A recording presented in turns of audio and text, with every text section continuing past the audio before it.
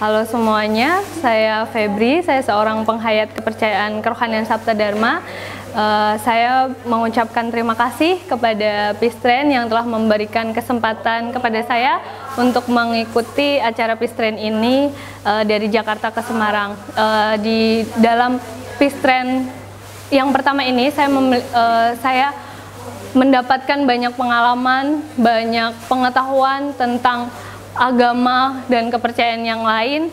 Jadi harapan saya semoga uh, di pistren-pistren selanjutnya acara ini tetap uh, menjadi uh, tempat bagi pemuda untuk uh, bertemu dan bertukar pengalaman, tukar pemikiran mengenai agama, ajaran yang dianutnya sehingga kita tidak lagi membicarakan tentang perbedaan tetapi kita mencari kesamaan untuk mewujudkan kedamaian. Salam damai. Terima kasih.